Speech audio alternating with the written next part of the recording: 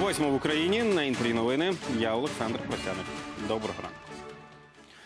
Двох українських бійців поранено на сході країни минулої доби. Окупанти здійснили 13 обстрілів, гатили на всіх напрямках із гранатометів і кулеметів.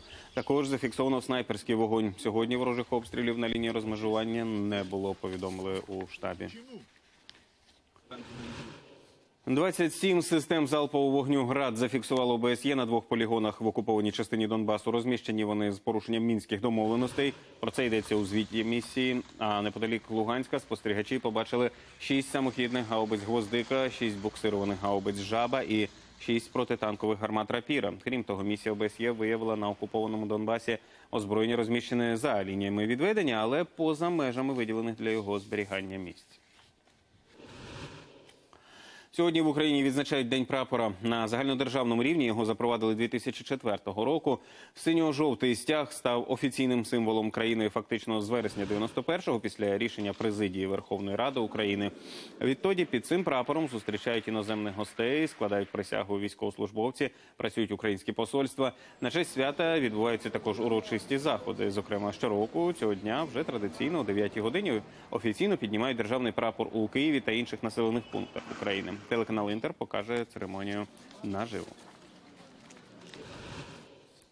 Останні приготування до Дня Незалежності напередодні ввечері на майдані відбулася репетиція ходи гідності. Хто крокуватиме хрещатиком, бачив Богдан Вербицький. Поки біля стели незалежності монтують сцену, на сусідній алеї Героїв Небесної Сотні триває репетиція ходи гідності. Повертаю, колона не зупиняється. Сейчас ты мне очень будешь нужна. Святкування Дня Незалежності розпочнеться з виступу дітей, присвяченого героям Майдану. За словами організаторів, цьогорічне дійство буде відрізнятися від минулорічного. Не будет техники военной. Потому что акцент мы делаем на тех прекрасных, отважных людях, которые этой техникой управляют. Не танкист, не, не танк, а танкист. Не самолет, а летчик. Люди – это то, чем мы гордимся. Вами мы гордимся. Мы гордимся теми людьми, которые что-то сделали для, стра- для страны. Военные, как военные, медики, как медики, музыканты, как музыканты. Мы гордимся талантливыми людьми нашей страны.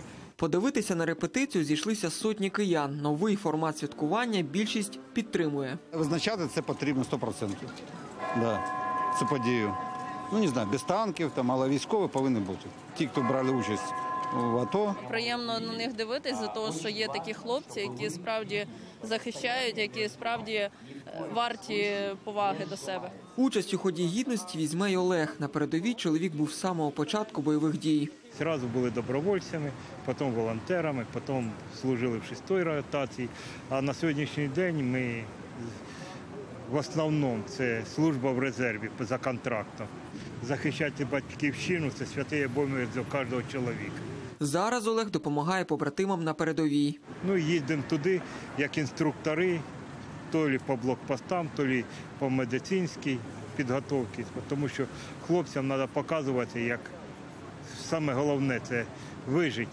Загалом участь у марші гідності візьмуть майже 400 військовослужбовців, а ветерани бойових дій прийдуть хрещатиком окремою коробкою.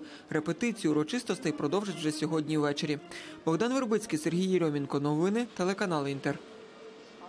З нагодою святкування Дня Незалежності в центрі Києва обмежать рух. Передусім центральними та прилеглими вулицями. Частково їх перекрили ще напередодні задля репетиції ходи гідності і заходів до Дня прапора. У КМДА попереджають у місцях підготовки та проведення урочистостей заборонено паркувати автівки. Резонансне вбивство у Кропивницькому. Серед білого дня біля СІЗО розстріляли двох чоловіків. Один помер на місці. В області оголосили план перехоплення. Подробиці трагедії з'ясували мої колеги. Це вулиця Короп'ятникова у Кропивницькому. Тут, у невеличкому літньому кафе, що неподалік від входу до СІЗО, пролунала автоматна черга. Цілили у двох чоловіків. Один із них помер на місці, іншому вдалося вижити. Його з вогнепальними пораненнями доправили до лікарні. На місці події весь день працювали слідчі. У правоохоронців навіть є фото машини, на якій приїхали нападники. Це ВАЗ-2109 червоного кольору. В області оголосили план перехоплення. Подробиці нападу у поліції не розголошують. Ми підтверджуємо факт скоєння вбивства. На теперішній час на місці пригоди працює слідчо-оперативна група.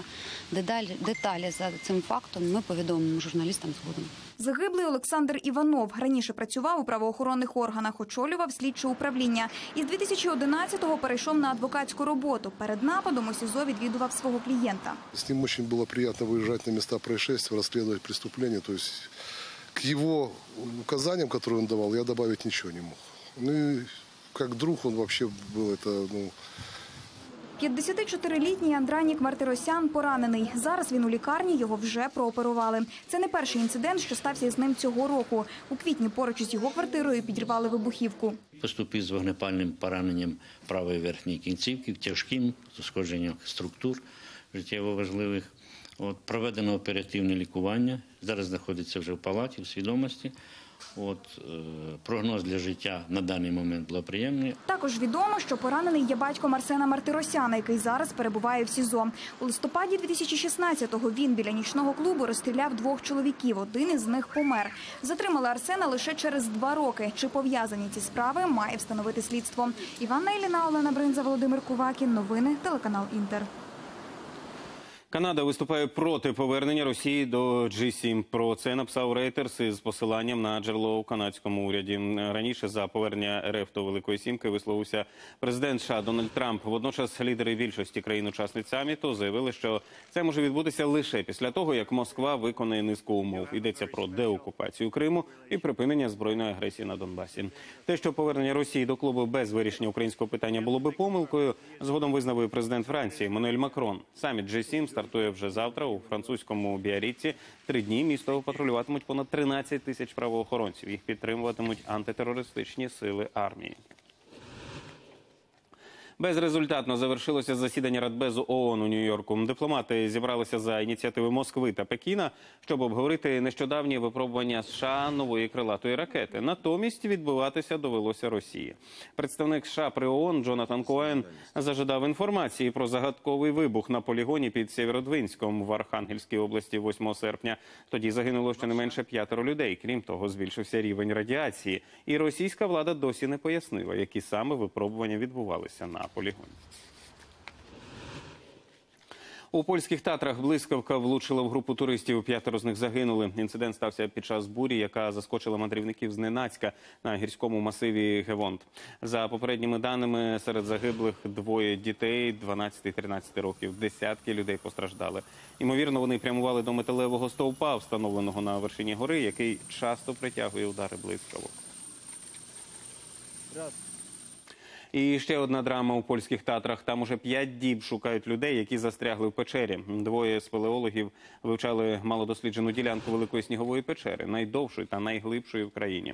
Однак вихід назовні їм перекрила вода, що затопила коридор вихідними. Точне місце перебування чоловіків невідоме. До пошукової операції залучили півсотні фахівців. Працюють у складних умовах. Деякі проходи надзвичайно вузькі. На місці робіт стався каменепад.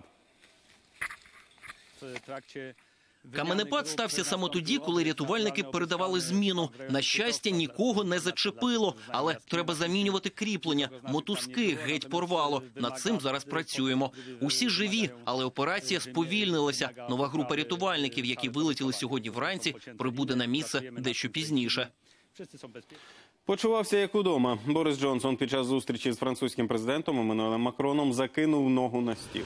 Вчинок британського прем'єра миттєво розкритикували в соцмережах. Біограф Джонсона Соня Пернел назвала його поведінку грубою і ганебною. Мовляв, а якби Макрон так зробив у Букінгемському палаці перед королевою. Деякі користувачі припустили, що це був лише невдалий жарт Джонсона. Ну і наразі все. Нагадаю, що о 9 ми покажемо наживо святкову церемонію підняття державного прапора. Тож до зустрічі.